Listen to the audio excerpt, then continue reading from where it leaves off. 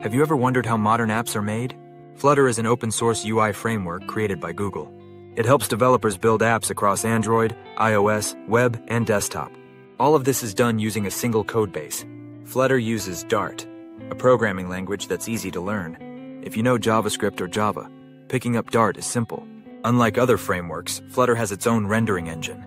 This means it doesn't rely on native UI components at all. This gives developers full control over their app's look and feel. With Flutter, you can ensure consistency across all platforms. Flutter comes with a rich set of customizable widgets. These help you create beautiful and responsive user interfaces. One amazing feature is Hot Reload.